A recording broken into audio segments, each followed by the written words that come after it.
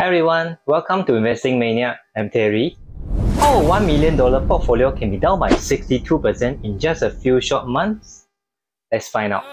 Till I can't no more. I got the horses in the bag.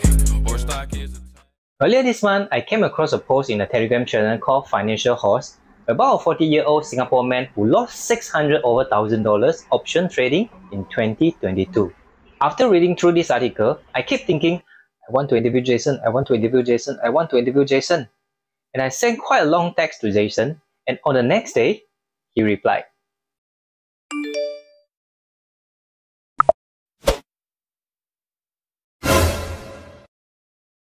Oh no!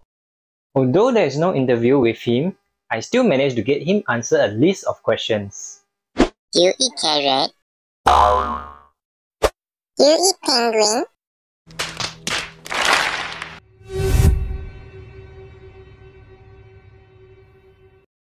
After getting his replies and reading through most of the articles written by him, I felt that there are really lots of lots of things that you and me can learn through his story.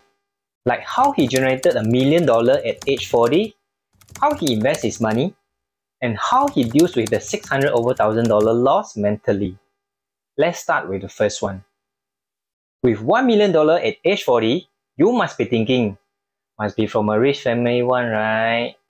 It is not true at all. Jason grew up in a poor family, but both his parents are very hardworking and taught him the greatest lesson to his life. That is, it is okay to be poor. As long as you are willing to hustle, you will not die of hunger. First blood. Yes.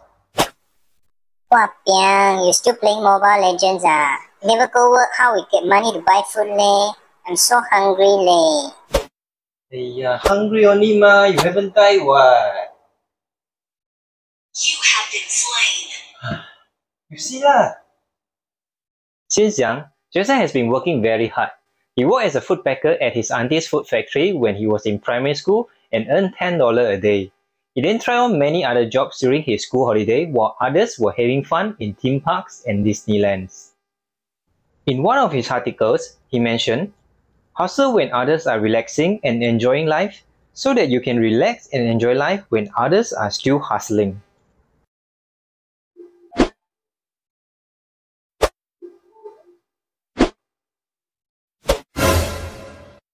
Wow, you're still watching TV ah? What do you learn from Jason and go to work? You lazy rabbit. Besides hustling hard throughout his young age, Jason's frugal lifestyle has also helped him in building wealth faster than his peers.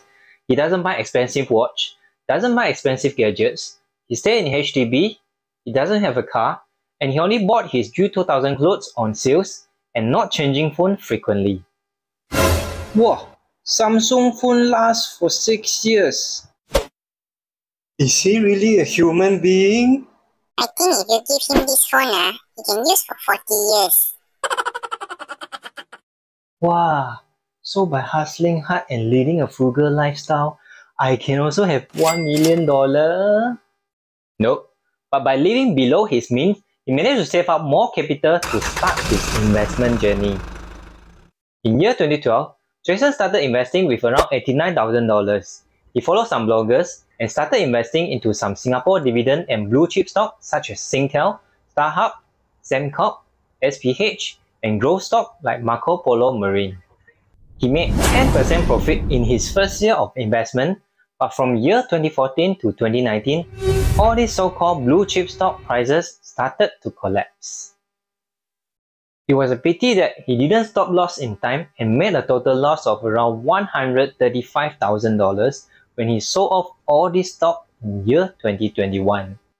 But his investment journey wasn't all bad. He invested around $196,000 in Singapore bank stocks such as DBS, UOB, and OCBC in year 2020 during the COVID-19 pandemic and made around $87,000 profit in close to two years' time. But in year 2021, Jason started to watch tons of financial videos on YouTube and that is how he was inspired about option trading by Chicken Genius Singapore. His option trading journey started with a big gain, but followed by a big loss.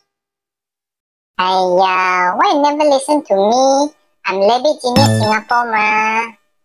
The option trading strategy that Jason used were wheel strategy and leap strategy. Wheel strategy is my favorite and the one and only option strategy that I use. You can refer to this video to understand how wheel strategy can help you to earn extra income every month.